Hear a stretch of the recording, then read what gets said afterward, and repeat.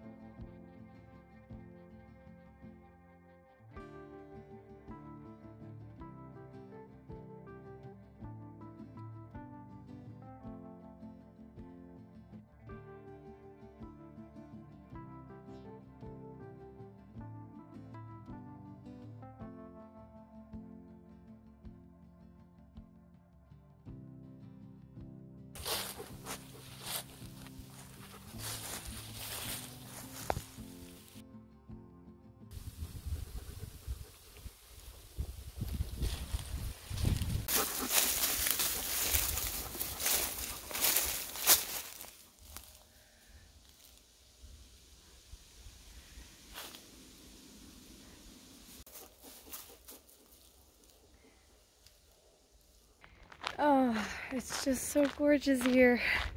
It's absolutely beautiful. Generally, in autumn, I like to go for as many walks as possible because I love chasing the yellow leaves. This year was a little bit different because I think the time when most of our trees were at their peak yellow is the time when we were in BC and Alberta. So I think unfortunately we missed a lot. I did still find clusters of trees that had yellow leaves, so that's good. It's definitely a little bit different this year. I feel like I missed a lot, but I guess still not because I was still able to find yellow trees.